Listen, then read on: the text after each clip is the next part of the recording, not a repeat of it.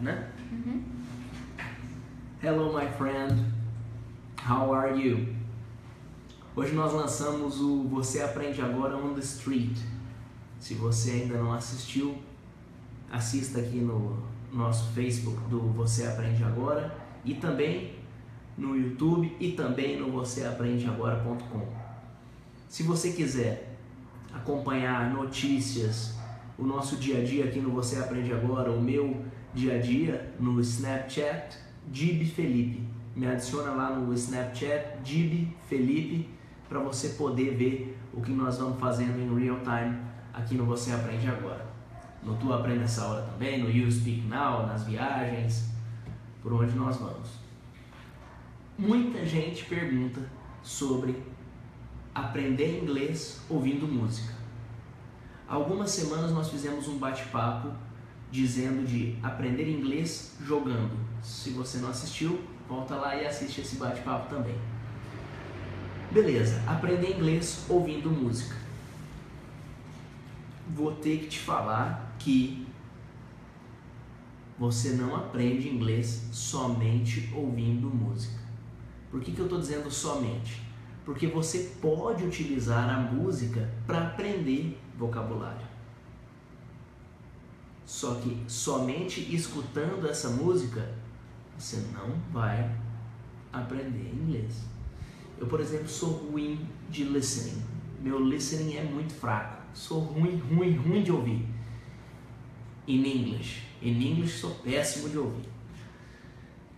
Então o que, que eu faço? Se eu curto uma música e quero entender o que está dizendo. Às vezes a música, a letra é tão bonita, né? A melodia é tão gostosa. O que, que eu vou fazer? Você vai pegar aquela música e você vai colocar o nome dessa música no YouTube. Porque eu não quero que seja uma coisa chata o seu estudo com música. Perceba que você vai utilizar a música para estudar inglês, mas você não vai dar um play e aprender inglês ouvindo a música. Você vai melhorar seu vocabulário utilizando a música. Como você vai fazer isso? youtube.com.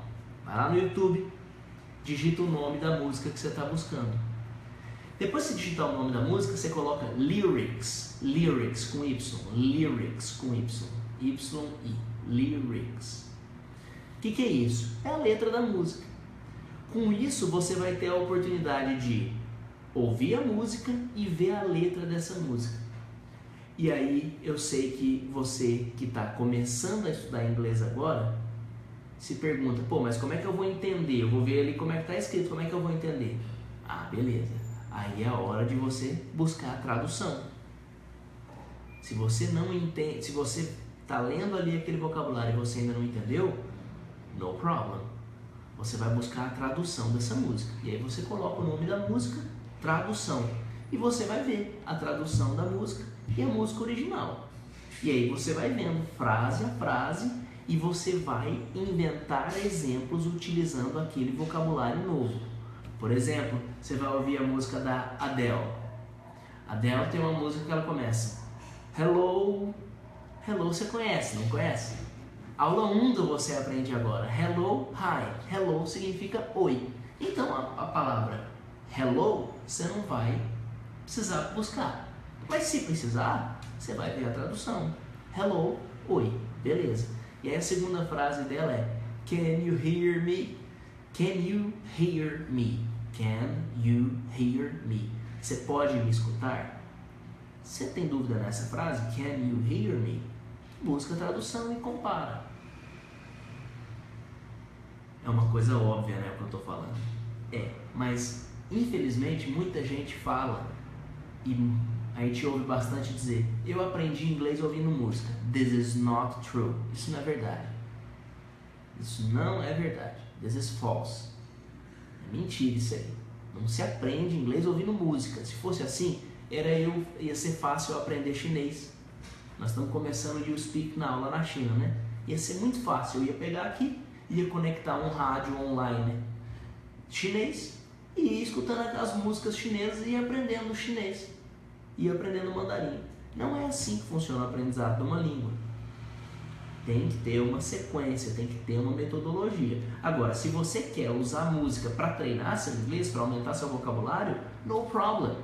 No problem. Ouvir música é muito gostoso. Ouvir música é muito legal. E aí o que, que você vai fazer? Você vai ver a música, você vai ver a tradução dessa música.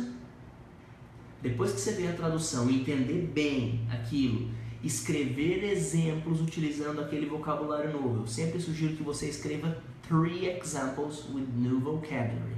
Escreva sempre três exemplos com vocabulário novo. Depois que você fez isso, aí meu amigo, você vai para a parte melhor do estudo com música, que é home karaoke ou work karaoke.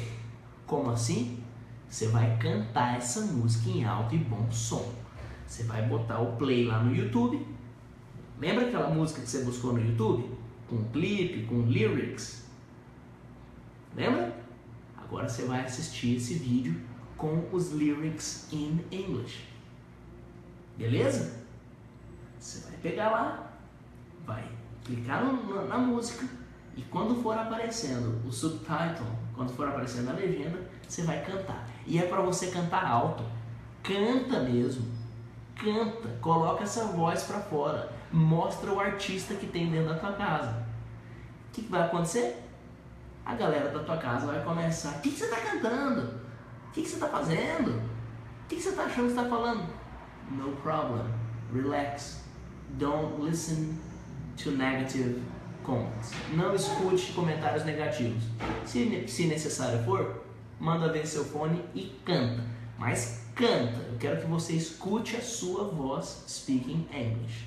Listen to your voice speaking English. Escute a sua voz falando inglês. Beleza? Então, resumo. Muita gente pergunta: como é que eu faço para aprender inglês ouvindo música? Eu te falo. Não se aprende inglês ouvindo música, não se aprende inglês jogando games, se melhora inglês ouvindo música, se melhor, melhora-se o inglês jogando. Como que você vai fazer para melhorar? Estruturando um estudo em cima daquela música. A música é massa? É. Bora estudar em cima dela. Se você quiser uma sugestão de música, eu sugiro Taste the Feeling. Taste the Feeling.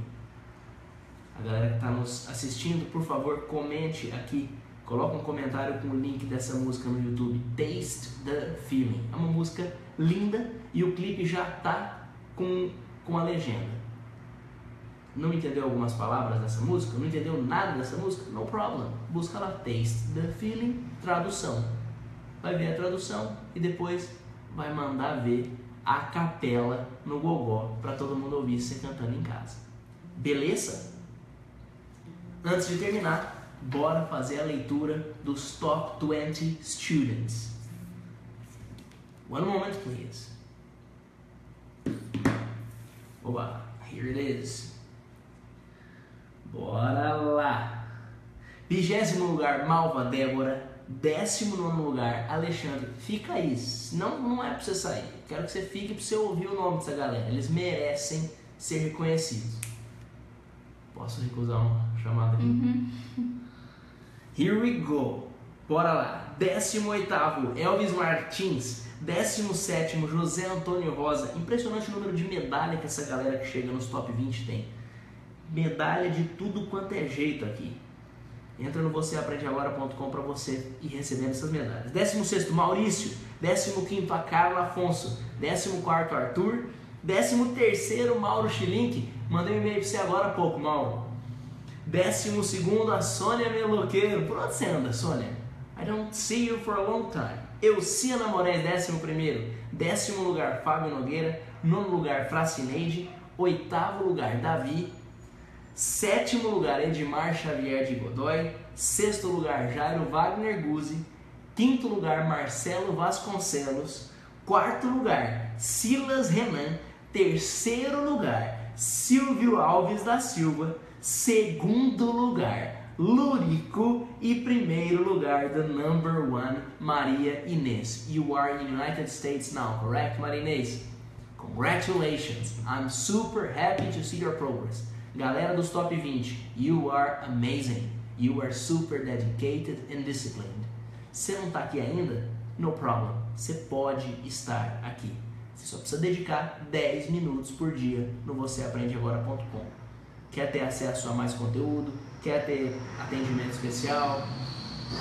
Quer receber certificação? Nosso certificado é reconhecido pela Georgetown. Seja VIP, vale muito a pena. Me segue no Snap, Gib Felipe. Ok? Qualquer dúvida, I'm here to help you. Thank you very much. I'm Felipe Gib. See you next class.